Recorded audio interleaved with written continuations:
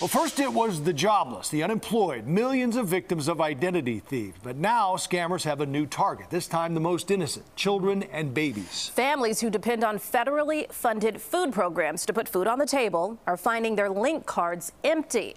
CBS 2 investigator Dorothy Tucker discovers loopholes in a system that leaves children hungry. I had no idea that I was going to have to be struggling to try to put food on the table. After 13 years of marriage, Anna Salgado got divorced. He decided to just walk out. I was like $7,000 in debt with four kids. So she needed help and signed up for SNAP, a federal food program that pays for groceries. The money is loaded on her link card, the balance $820. I, I need it, yes. I definitely do need it. But in June, the one thing she needed, the main source of food for her children, suddenly disappeared. She was shopping at Costco.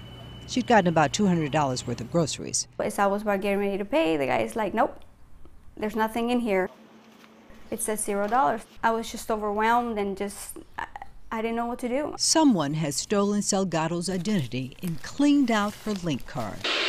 We're investigating a new kind of unemployment fraud. We saw the same thing happen to the unemployed during the pandemic. The state did nothing to stop unemployment fraud. ID thieves stole billions of dollars from millions of Americans who lost their jobs. It's okay. We now know the unemployed weren't the only targets. The heartless hackers are taking food out of the mouths of children. It's it's very hurtful. It's extremely hurtful. Just how many families like Salgado's are hurting in Illinois? That's a question for the state agency that distributes the benefits. So the CBS 2 investigators sent a public records request seeking the number of SNAP fraud complaints. Request denied. Exempt from release. Instead, we got a link to a 2020 investigations report. Guess what? 56 pages. We read them all. It's mostly about merchants or recipients defrauding the government, but no report, not one, on families being victimized by scammers. Why does that matter? Just ask Eva Velasquez, CEO of the ID Theft Resource Center, a nonprofit that helps fraud victims. Identity crimes have these tentacles. So it doesn't just impact that one individual. When they lose, you lose. If that identity crime is being perpetrated by a fraud ring, then that's money that's leaving the U.S. economy, and it is gone. All the transactions are seconds apart. Remember, in Salgado's case, the fraudster stole everything on her card. And when she went to the DHS office, assuming the state would replace the money, she met this man. I was one caseworker out of several caseworkers. An insider who didn't want to be identified, but he gave us details the agency wouldn't. In my office, it, whenever the, the, the, the fraud would happen, I would see maybe five to ten victims within that day. There were many days, he says, when he'd have to explain to people like Salgado that she could get a new link card, but that $820 gone. Those funds that were taken out, that were stolen from them, are not going to be given back. It's a fact. The feds don't replace stolen SNAP benefits. They argue there's no way to prove the hacker didn't have permission to use the card. It's frustrating. It's extremely frustrating.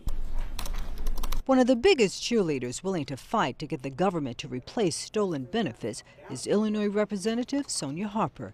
You see, she feels their pain. I've been on SNAP before. Harper was a law student and a new mom with few options. I just found the experience just standing in line for food stamps alone um, to be very hard and challenging and disheartening. To know that there's not a process for when your benefits are stolen, that's, that's a pretty hard thing to, to deal with. Harper is looking at legislation that will help fraud victims. But Delgado, But they don't see the struggles that we have to. She still feels the loss. Put ourselves through and our kids so they can have some food on the table. You know, just it's just so overwhelming. Dorothy Tucker, CBS 2 Investigators. Oh.